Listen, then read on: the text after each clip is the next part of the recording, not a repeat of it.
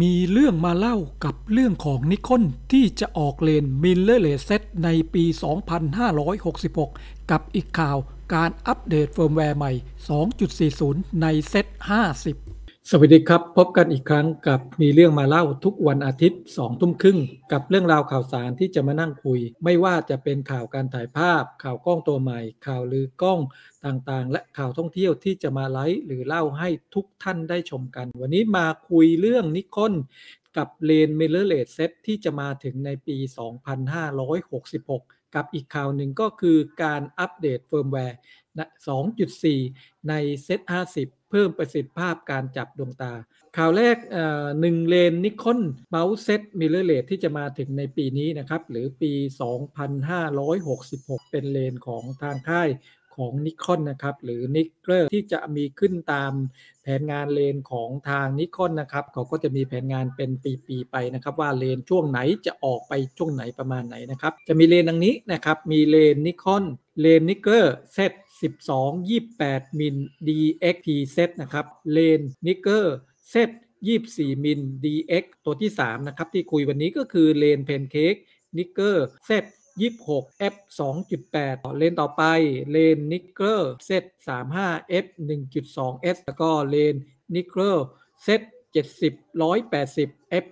2.8 ซึ่งไม่มีไม่ใช่ s นะครับ ก็เลนส์ Nikkor Z 85 f 1.2 s ซึ่งจะเป็นวันนี้เดี๋ยวจะมาคุยกันนะครับ แล้วก็เลนส์ Nikkor Z 135 f 1.8 แล้วก็เลนส์ Nikkor Z 200 600 f 6.3 ซึ่งวันนี้จะมีเลนส์ 2 ตัวด้วยกัน คือเลนส์ Nikkor 26 2.8 นะครับ แล้วก็อีกตัวนึงคือจะเป็น Nikkor Z 85 f 1.2 s นะครับ มาดูตัวแรกนะครับ เลนส์เป็นเลนเพนเค้กนะครับ เลนส์ง่ายๆ เลนเพนเค้กเลนส์ Nikon Nikkor Z 26 มิล f 2.8 นะครับ เป็นเลนส์ที่ช่างภาพมือ มือสมัครเล่นนะครับ ชั้นสูงห้ามพลาดนะครับสำหรับมือใหม่ก็ได้นะผมคือคือผมว่าสำหรับมือใหม่ก็ได้นะครับเลนมุมกว้างบางเฉียบนี้ได้รับการออกแบบมาโดยเฉพาะสำหรับกล้อง mirrorless พวก Nikkor Z ต่างๆนะครับแล้วก็ซีรีส์ที่มีเซ็นเซอร์แบบ full frame เลนส์รูปแบบเดียวกับ FX นะฮะเลนส์มีการออกแบบที่น่าประทับใจนะครับ ทั้งน้ำหนักเบาและกระทัดรัด ทำให้เป็นตัวเลือกที่ยอดเยี่ยมสำหรับช่างภาพที่ต้องเดินทางตลอดเวลานะครับด้วยความที่มันมีน้ำหนักเบานะฮะก็เหมาะสมกับที่จะไว้สำหรับเดินทางด้วยเลนตัวนี้ คุณจะสามารถถ่ายภาพมุมกว้างนะครับ ที่สวยงามน่าทึ่งได้และสะดวกในการพกพา นอกจากนี้ประสิทธิภาพการเรนเดอร์ที่สูงช่วยให้มั่นใจได้ว่าภาพถ่ายทุกภาพนะครับจะมีความคมชัดและรายละเอียดที่น่าทึ่งนะครับ นี่ก็คือเลนNikon Nikkor Z 26 มิล f 2.8 นะครับ เป็นเลนส์ fix เนี่ย ซึ่งตัวนี้ก็เหมาะสมที่เอาเป็น คือผมว่าเป็นเป็นเลนส์ wide ที่เหมาะสมที่ที่ผมว่าน่าจะได้ภาพนะครับเป็นเลนส์มุมกว้างที่น่าสะดุดภาพ แล้วก็ด้วยความที่เล็กกระทัดรัดเนี่ย มันก็สะดวกในการที่จะพกพา เลนส์อีกตัวก็คือเลนส์ Nikkor Z 85 f 1.2 s เนี่ยที่กำลังเปิดตัวนะครับเป็นตัวเลือกที่ยอดเยี่ยมสำหรับช่างภาพมืออาชีพนะครับ โดยเพราะว่า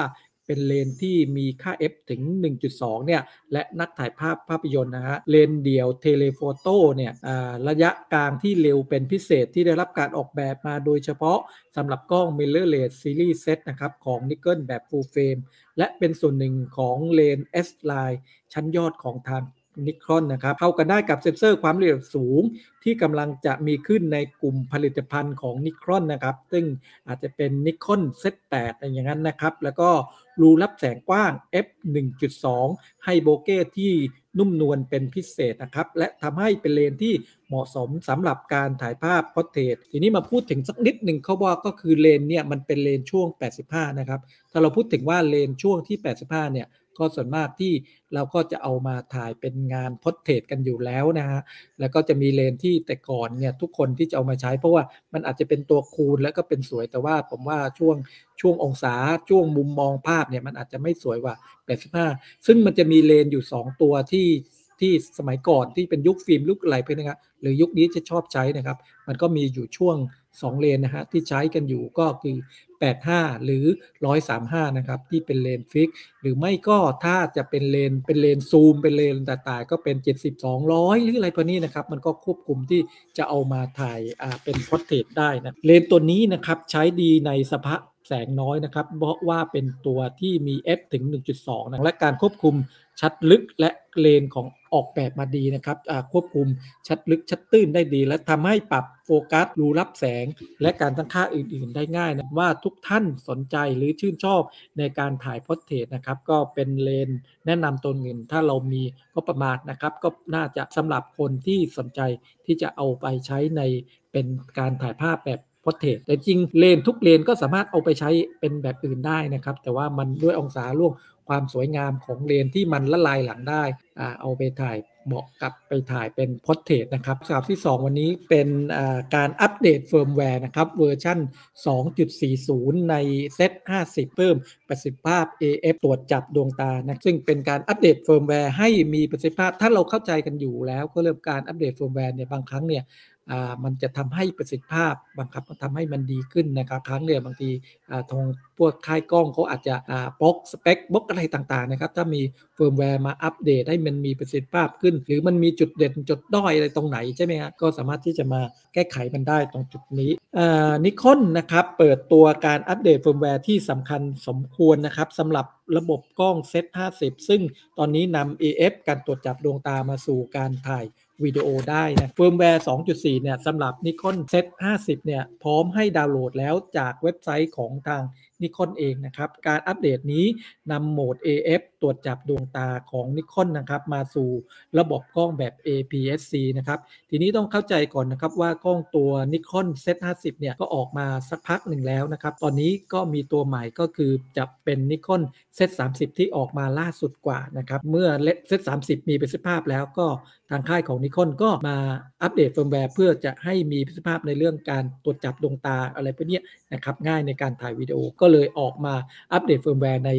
2.40 นะ ซึ่งการอัปเดตนี้นี้เหมือนอย่างที่บอกนะครับ เป็นนำโหมด AF ตรวจจับดวงตาของนิคอนมาสู่ระบบกล้อง APS-C ครับ และปรับปรุงประสิทธิภาพการตรวจจับดวงตาเมื่อถ่ายภาพนิ่งด้วยโหมด Auto Area AF นะฮะ แม้ว่าเซต50 จะเป็นรุ่นที่เน้นการถ่ายภาพนิ่งนะครับ เพราะว่าเรารู้กันอยู่ว่าแต่ก่อนนะครับ ตัวนิคอนเซต50 อาจจะเป็นถ่ายภาพนิ่ง เมื่อเทียบกับตัว S S30 ที่มี EVF นะครับ แต่ก็มีประสิทธิภาพวิดีโอที่เหมือนกันทุกประการ ดังนั้นสำหรับใครที่ตามที่ถ่ายวิดีโอด้วยเซต50 นะครับ การเพิ่ม AF ตรวจจับดวงตาควรเป็นการปรับปรุงที่ดีนะครับ ก็ถือว่าสำหรับใครที่ถ่ายเอาเซต50 มามาถ่ายทำงานวิดีโอนะครับ ก็การเพิ่ม AF ตรวจจับดวงตาเนี่ยก็จะทำให้มันง่ายขึ้นในการที่เราจะได้ฟุตเทจหรือเราจะได้งานเวอร์ชัน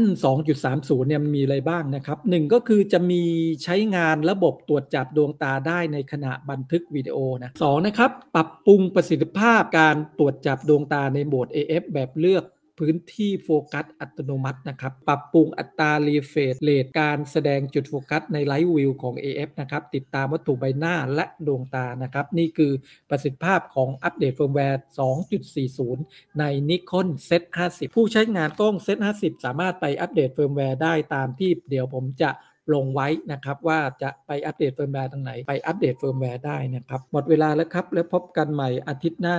กับมีเรื่องมาเล่าพบกับเรื่องเล่าตอนหน้า และฝากกดติดตามช่องช้า Image Channel ด้วยนะครับ ขอบคุณครับ